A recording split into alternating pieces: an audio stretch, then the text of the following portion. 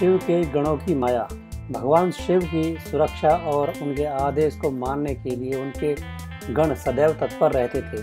उनके गणों में भैरव को सबसे प्रमुख माना जाता है।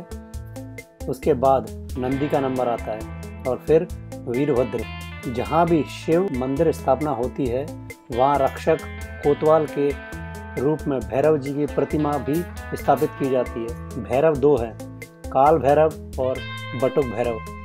दूसरी ओर वीरभद्र शिव का एक बहादुर गण था, जिसने शिव के आदेश पर दक्ष प्रजापति का सर धड़ से अलग कर दिया था।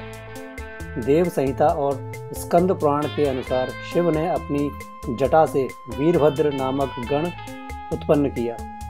इस तरह उनके ये प्रमुख गण थे, भैरव, वीरभद्र, मणिभद्र, चंदिस, नंदी, श्रृंगी भ्रगिरटी शैल, गोकर्ण, घंटाकर्ण, जय और विजय। इसके अलावा पिशाच, दैत्य, दानव, भूत और नाग, नागिन पशुओं को भी शिव का गण माना जाता है। ये सभी गण धरती और ब्रह्मांड में विचरण करते रहते हैं और प्रत्येक मनुष्य, आत्मा आदि की खैर खबर रखते हैं। शिव के द्वारपाल, कैलाश पर्वत के क्षेत्र में उस काल में कोई भी देवी या देवता, दैत्य दानव शिव के द्वारपाल की आज्ञा के बगैर अंदर नहीं जा सकता था।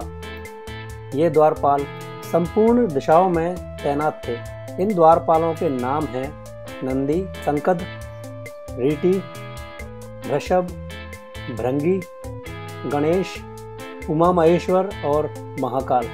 उल्लेखनीय है कि शिव के गण और द्वारपाल नंदी ने ही कामशास्त्र की रचना की थी।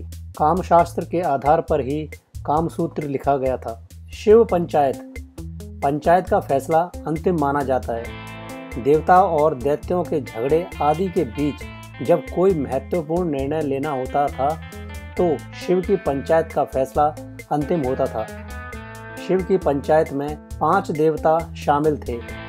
ये पाँच देवता थे, नंबर वन सूर्य, नंबर दो गणपति नंबर तीन, देवी, नंबर चार, रुद्र और नंबर पाँच है विष्णु। ये शिव पंचायत कहलाते हैं, शिव पार्षद।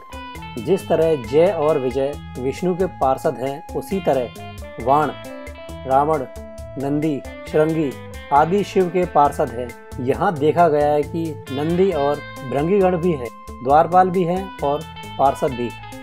उल्लेखनीय है कि शिव ने अपने एक गण का सिर काटकर ही विनायक के धड़ पर लगाया था। इसलिए विनायक को गणेश और गणपति कहा जाता है।